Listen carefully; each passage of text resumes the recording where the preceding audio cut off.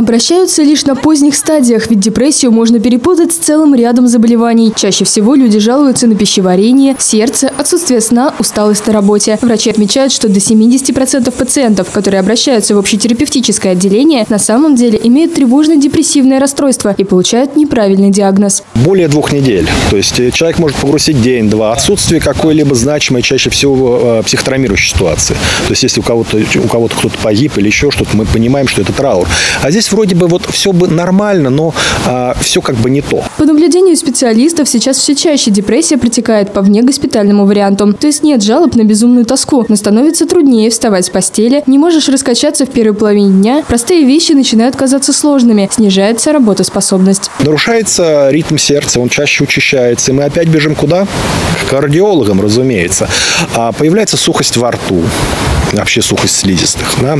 Вот. А появляются какие-то мы, мысли в голове о собственной какой-то никудышности, о собственной несостоятельности, о том, что у меня ничего не получится. Люди начинают с трудом планировать э, э, перспективно будущее, строить план, говорить, что живут сегодняшним днем.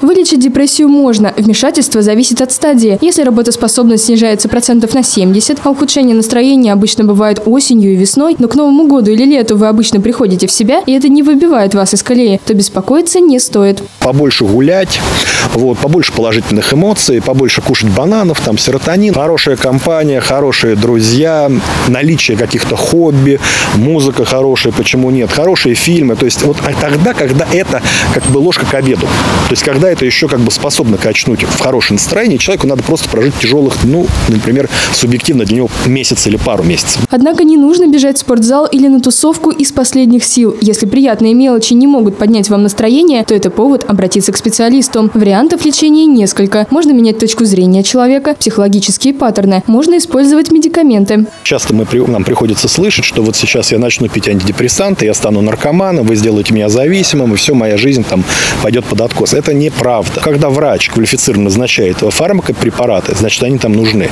Значит, польза от них будет однозначно больше. В то же время не стоит делать необоснованных изменений в жизни. Например, менять работу или ссориться с близкими. Это признак депрессии. Достаточно изменить свое отношение к жизни, и она вновь заиграет яркими красками. Галина Кудряшова, Станислав Кудряшов, телекомпания «Город».